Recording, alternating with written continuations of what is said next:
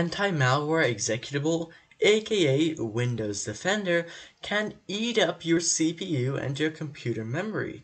And that is why today I'm going to show you exactly how you can just how you can just turn it off and make sure that that doesn't happen. I've got two solutions. They should both be down in the chapters, which you can find in the, in the description or just in the timeline of this video. Anyways, starting off with the first one, you go where you're going to want to go to the search over here, and then you want to type in task and task scheduler should come up. You can also just look up task scheduler. Then you want to go over to run as administrator over here or right click on it and then select run as administrator.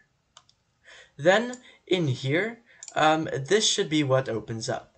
You want to click on this arrow under task scheduler library and then again on Microsoft, just like so.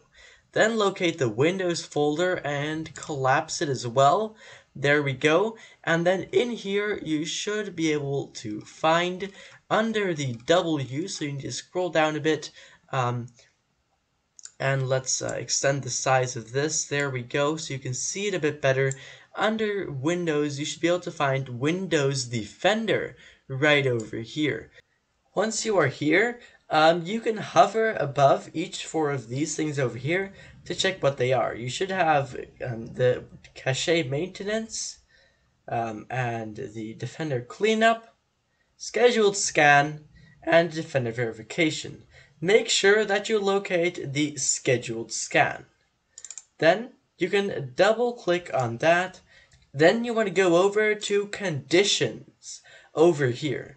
And then you want to make sure that a few things here are ticked. So make sure you tick start the task only if the computer is idle for and you can just leave this as it is. And you also want to make sure that you tick this box over here. And you can just leave this at any connection. Then you can click on OK and your issue should be fixed. Now your problem is not always going to be fixed, and that is why there is a second solution. So the second solution is to download any anti-malware program you want. I recommend Avast. Then what you want to do is you want to download that and that will actually replace Windows Defender. If it doesn't automatically replace it, then you'll need to configure that in settings over here and then under privacy and security. When you go into Avast, you want to make sure that you disable background scanning. Um, and what this does is it replaces Windows Defender, so Windows Defender won't background scan. And um, now the idea is that Avast will background scan instead of Windows Defender.